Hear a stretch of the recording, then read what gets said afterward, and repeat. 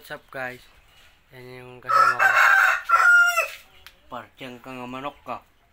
At hin- hindi new day pero new vlog. At ipapakita ko nga po yung rider.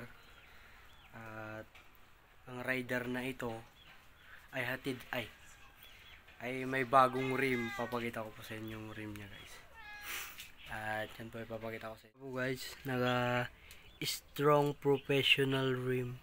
Ay mag-focus. Na strong professional rim na, na red.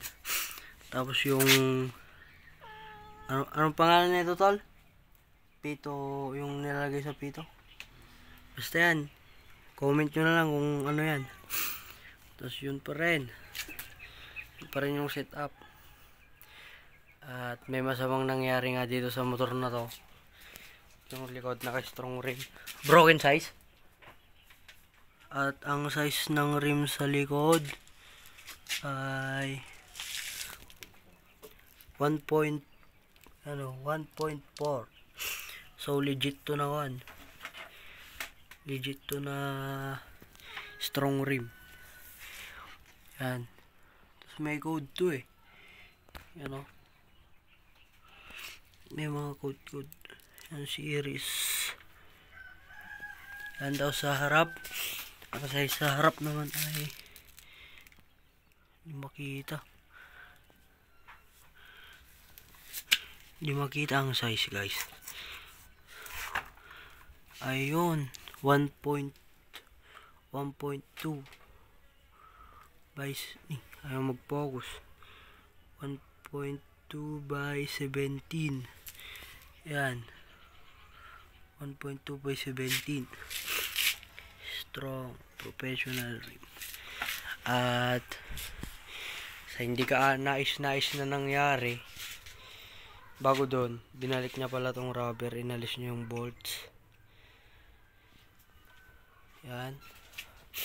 Ay ginasgasan tong motor niya. Eh kung sino ka mang nanggasgas ka God bless sa'yo tol. To may gasgas. Ito yung pinagkukan namin kasi may show sa 11 pero papalitan na lang ng sticker. Dito goods pa dito. Pero dito hindi. Tapos pati sa tangke niya may nadali rin oh. talagang ginasgas. Tapos ang makon pa kinuha yung bolts dito inalis yung kwan nilagay dito nilagay yung plate number no? Dito nilagay yung plate number and then dito rin sa kabila. Yan may mga gasgas din. Pati yung rim niya. Yung rim niya kaya siya kaya siya rin nagpalit. Pinasgasan din yung rim niya. At konting montage tayo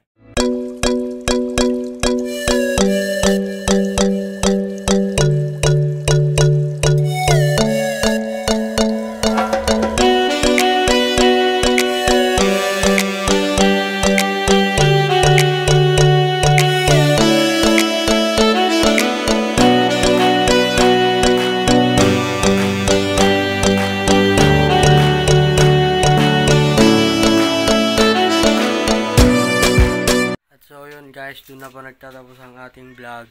And if you like this video, don't forget to like, share, comment, click the notification bell for more updates.